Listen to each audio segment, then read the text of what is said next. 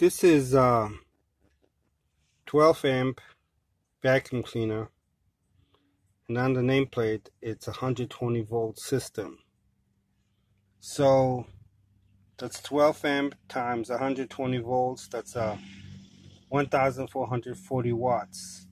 That's pretty close to the nameplate of the Kodiak, which is 1500 watts. And this time I'm only going to run the vacuum cleaner. And uh, we'll see how the battery does. I'm going to run it on and off, giving a chance to have the battery equalize. That's a concept that I use. It seems to me like the Kodiak gets a little confused in life and uh, we'll see if we can confuse it a little bit today. This is the Kodiak generator after I just turned it on and it's at 12.38 volts. This is after last night, last evening while it was being charged, it was being charged at 12.56. Like I say, by the time the morning comes, it doesn't say stay at 12 point five six.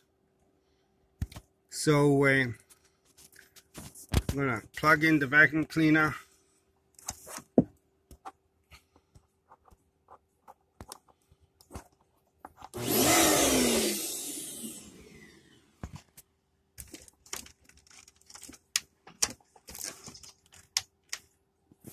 Wow.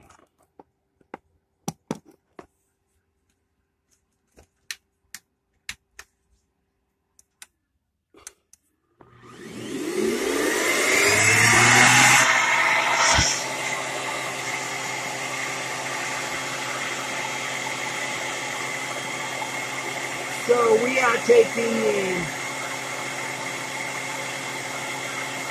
710 watts drawing 62.85 amps.